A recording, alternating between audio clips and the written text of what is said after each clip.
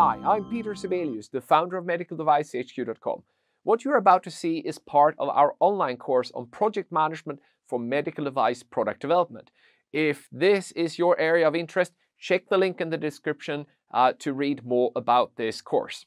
While you're at it, click the subscribe and notifications buttons and make sure you never miss new content. In this video, I'll be showing you how to create a work breakdown structure. This is a super useful tool. Funnily enough, not every project manager knows what this is, and quite a few will actually be working with work breakdown structures without knowing it. So stay tuned to learn more about this important and useful tool. And where are we in the process? We are still early in the planning phase, trying to figure out what, is the, what it is that the project is going to be delivering. Previously, we looked at creating a project scope statement. The project scope statement was the text that you would often find in the project plan. It describes what the project should deliver. When adding the work breakdown structure to the project scope statement, we are creating a scope baseline. The inputs to this step where we create the work breakdown structure is the project scope statement and the requirements documentation. And the tool you would be using uh, is decomposition which is just about breaking down the project into smaller, more manageable pieces. And at the very end, out comes the work breakdown structure. And when that is approved together with the project scope statement, you have a scope baseline. A work breakdown structure defines all the things a project needs to accomplish organized into multiple levels and displayed graphically most of the times. And it might very well look something along the lines of this tree structure that you're seeing on the right hand side. So why would you want to have a work breakdown structure? Well, the easiest way to answer that question is to look at what your Gantt chart would look like if you did not have a work breakdown structure. Your schedule would just be a very, very long list of activities. It could literally be hundreds of them, and there is no way you can get the overview that you need to effectively manage and understand that kind of schedule. Creating a work breakdown structure is to uh, subdivide or group your project into more manageable chunks of work that will help you oversee your project and present it in a clear way to stakeholders. And it's fair to say that the most common type of work breakdown structure that is created is done using project management software and indenting tasks to create summary tasks and work packages like in this example. This will create your project tree structure. I once did a review of 20 very large IT projects and I asked all the project managers if they had a work breakdown structure and all of them said no and all of them had it in Microsoft Project without realizing it. Work breakdown structure, in its purest and most traditional sense, is based on breaking down the project into deliverables. Let's look at this example of the bicycle work breakdown structure.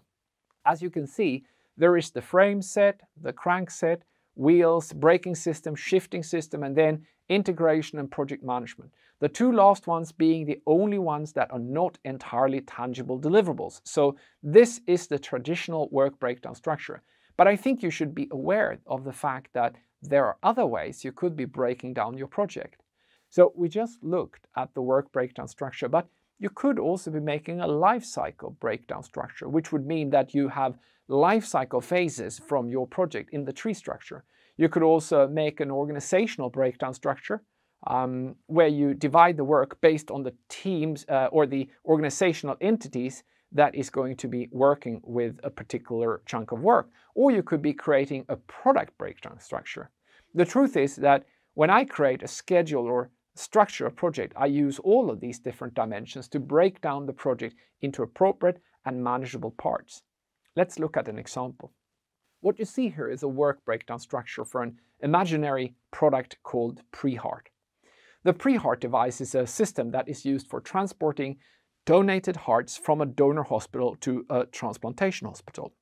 It's made up of a transport box on the left-hand side and a disposable organ container here represented by the box on the right-hand side. I will show you an example work breakdown structure for this project that is to deliver this product. Let's examine the different parts of the work breakdown structure In the first example, on the first level of the work breakdown structure, you see design, design verification, design transfer, design validation, and lastly closeout.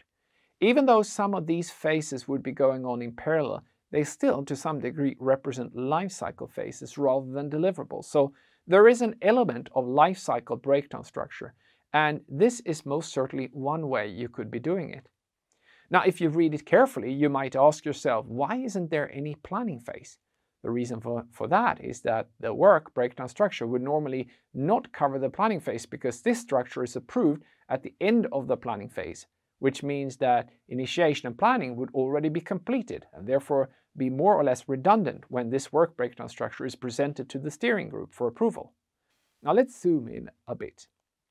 Here we have the transport box alongside with labeling and the disposable. The transport box is broken down even further into mechanics, electronics and software. So here you can see a more traditional work breakdown structure which is deliverable oriented and hierarchical in the sense that the transport box is broken down into two levels.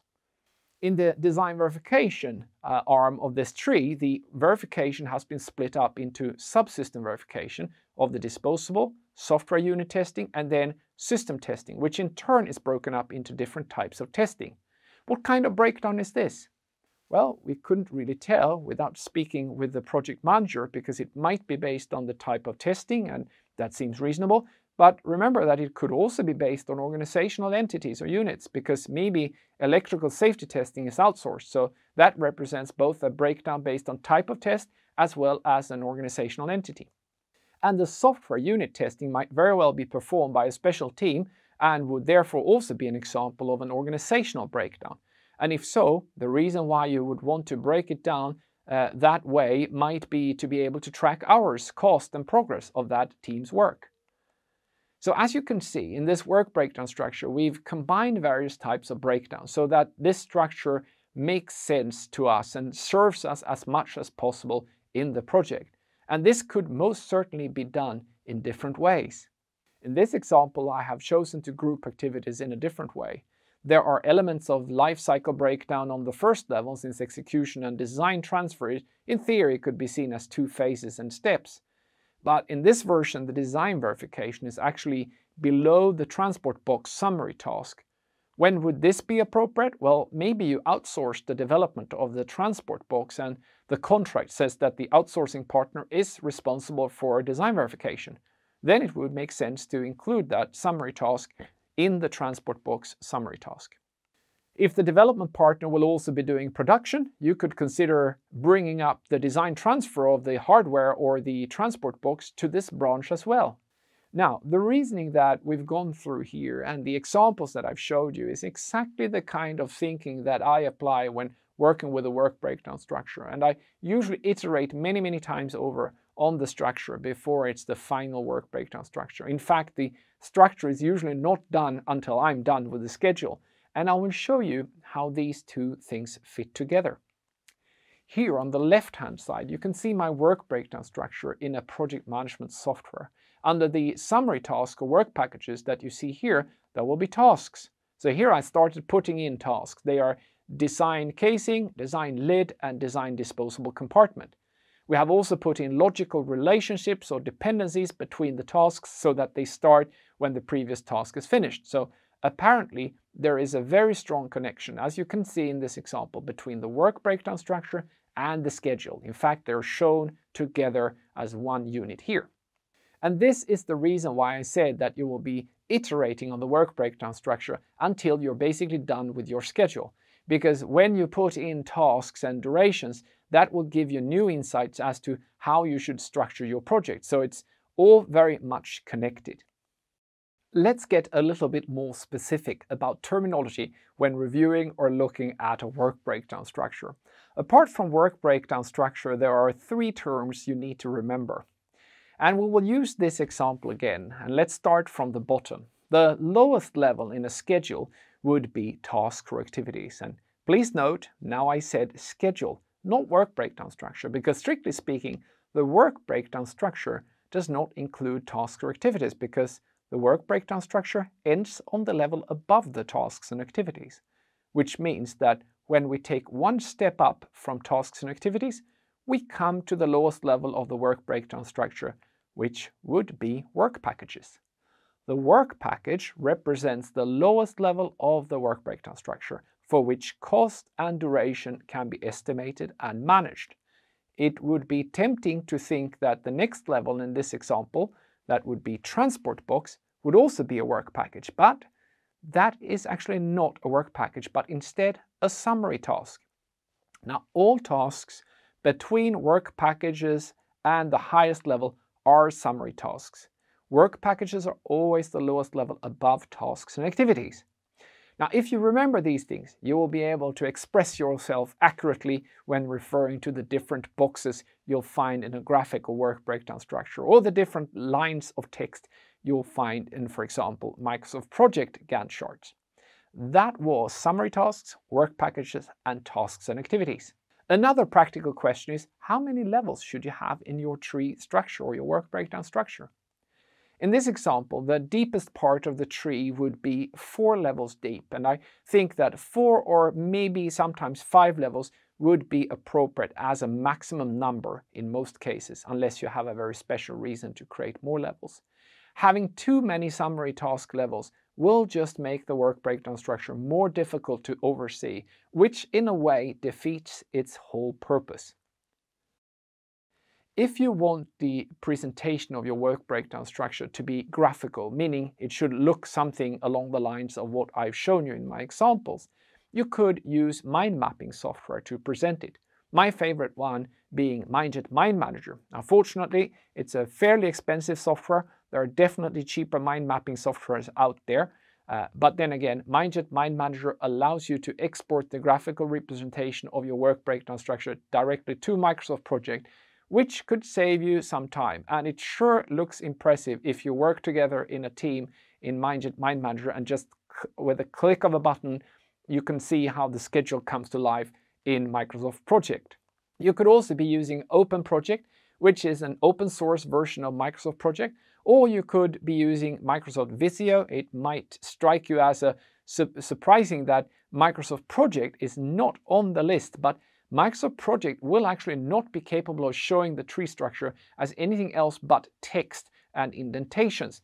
Sometimes people insist that it can, but they're actually thinking about the network diagrams that can be shown as graphics in Microsoft Project. Text-based tools would then be Microsoft Project, Word or Excel, where you could be indenting text and thereby creating a hierarchical breakdown structure. The easiest way to get started on the work breakdown structure would be to have access to a template. If you're really lucky, you can get a template from someone who has been running a similar project successfully previously in your company, or you might even have it as part of your organizational assets. If that didn't work, you will probably have to create a work breakdown structure yourself. The nice thing about that being that you could have it exactly the way you want it. Now some industries will even have industry-specific templates for work breakdown structures.